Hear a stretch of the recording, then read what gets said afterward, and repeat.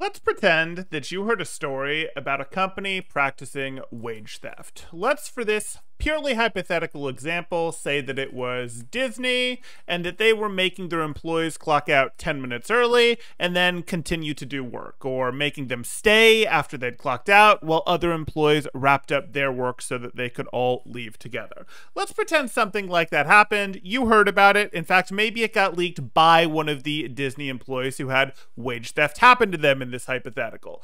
You would probably be unhappy about that. And if Disney came out with a PR statement and said, no, that's not happening, they're misunderstanding the policy, that's not a thing, you'd probably be a little skeptical. In fact, even if the employee who originally leaked it said, oh no, I misunderstood the policy, I was wrong, you'd probably look at that and say, hey, they probably got incentivized, be it through, hey, you get to keep your job if you don't say anything, or hey, we're going to potentially offer you a promotion, more pay, something, some way to shut them up. You'd probably still look at it and go, any of those things could have happened. I might still want to believe that original story. That's how most people would interact with corporations. Again, just using this hypothetical here. But for some reason, when we're in the Overwatch world, the Overwatch League fan base has a lot more people that just go, no, I trust the org. I trust the organization over the leakers and it's kind of weird. So we have our news specifically saying Muze and Finale requested trade requests from Owl Team Toronto Defiant. This came out on the 25th, and this story has evolved quite a bit since then. No big deal. Halo does a lot of the reporting for Overwatch League roster movements. Not a surprise to see this coming out here we have the Toronto Defiant staff coming out and say uh, saying no trade requests were made. We are a very professional group of coaches. That's a play on the Boston meme. No problem. Talented players who are eager to win as one team. Fine. So they're coming out and saying no trade requests. And then we have Muze coming out and saying I did not submit a trade request. I am I'm very passionate, which sometimes comes with heated emotions. Thanks to my coaches, teammates, and the Toronto Defiant for their understanding. We're a winning team, and this is where I want to be. I'm sorry for worrying my fans. So we've had both staff and Muze say that they didn't submit a trade request. Okay, so was Halo lying? Were Halo's sources wrong? Was this maybe a campaign to smoke them out, give bad information to a few people, and if it gets back to Halo, you know who the leakers are? Well, no. I mean, it could be. That could be what's going on. It's also possible that neither of them are wrong, that Halo says there was a trade trade request, but Muze is saying no, it's not a real trade request. Maybe he said it out loud, but he didn't say it to the right person, or maybe he said it out loud, but he didn't put it in writing, or he you know put it in writing and it went to his coach, but it hadn't yet moved up to the person it has to, the GM, for example, so it wasn't real yet. It could be any number of things where they're using different definitions of the word trade request. That would be pretty normal and not terribly surprising as a way to uh, try to debunk the trade request rumor here that doesn't make the Toronto Defiant look pretty good.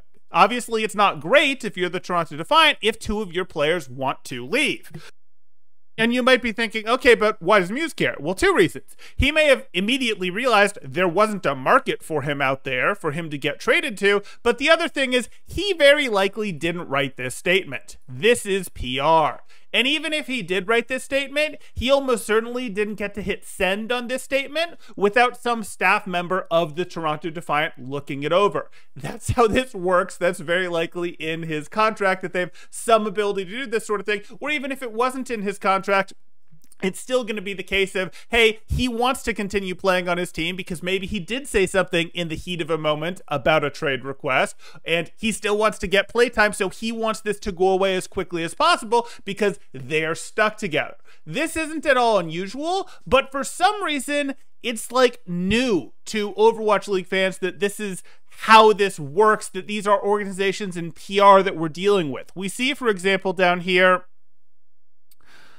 Thank you, Mr. Muze. This is why I keep Halo muted. As if this, like, fully disputes what Halo said. Or something like this, where common Halo L, things like this. And we could go over some of the responses we'd say to Halo that would be more like, but your allegation is that they are outright lying about the transfer request, not just that everything got resolved between the org and the players, two distinct matters. And then Halo says, I report something, team denies it, I double down, team ends up admitting I was right. I'm officially calling this Halo effect. I don't know if I'd go that far, but he has had things like this, and he is doubling down on this one. He made his statement pretty clear that, hey, yes, he is doubling down at this. He looks at it and says, you know, this is still what he's going with. That, you know, they did it, he's doubling down on it, fine. But we he does have some reason to do this. Like he's been right in the past where he, for example, said Valiant was going to drop their roster and move to China. A bunch of Valiant players came out and denied that, and then Valiant dropped their roster and moved to China. Okay, so yeah, these things happen. Are there times he's gotten his rumors wrong? He's gotten things wrong in terms of his leaks, rather? Yes, there absolutely are. And you guys can absolutely have that debate in the comments on whether it's a good source or not. But these things do happen. And I just find it kind of funny that we're more trustworthy in Overwatch League of the players and the orgs than we are in the NBA or other places that trade rumors happen. And I think the reason that this actually happens is because we have a greater level of access to the players. We can go play with Muze on ladder if we want to and we're high enough SR. Or we can go watch Muze's stream. Or we can go interact with Muze on Twitter and we're probably actually interacting with Muze, not a PR person or a social media manager like we would be 90% of the time if we tried to interact with a professional player in MLB, NBA, soccer, any of those sorts of things. So that I think is part of why people are more trustworthy because they have more access to these players. And I think it causes them to forget that no, these are still orgs that we're dealing with. These are still effectively things like corporations that we would have been suspicious of. But what do you guys think? Do you look at this and say, yeah, I think that's the reason? Or do you look at this and say, no, no, Halo was all wrong and Toronto was all right, or Toronto's just covering their butts? Let me know what you think actually happened here in the comments down below. If you're enjoying the content, drop a like, consider subscribing for more Overwatch content, and I look forward to seeing you in the next one. Thanks, Temporal out.